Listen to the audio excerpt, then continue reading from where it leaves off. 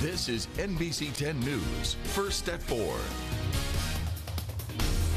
Hello, and thank you so much for joining us for your first at four. I'm Cindy Langston with your South Arkansas News. Our top story at this hour the solar eclipse is the talk of the town, and several organizations are coming together to bring the citizens of El Dorado and Union County of all ages a watch party that will include photo opportunities with a surprise visitor from outer space and a live feed from NASA.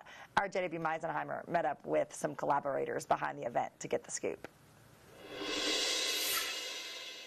The solar eclipse of 2024 is coming this Monday, and organizations in El Dorado collaborating for a citywide event. The South Arkansas Arts Center kicked off preparations for the upcoming watch party by helping students create viewing boxes at several schools in town.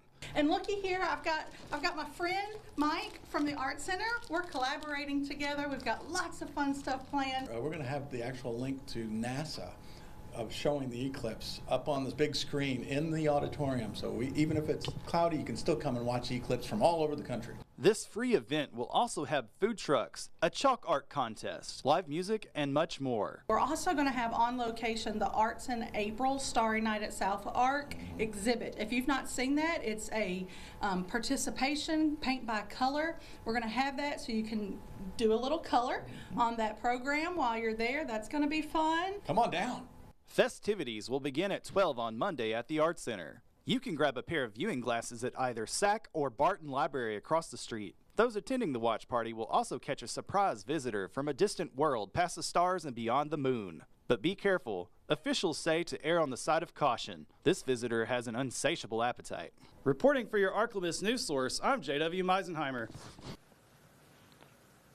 All right, be careful out there, JW.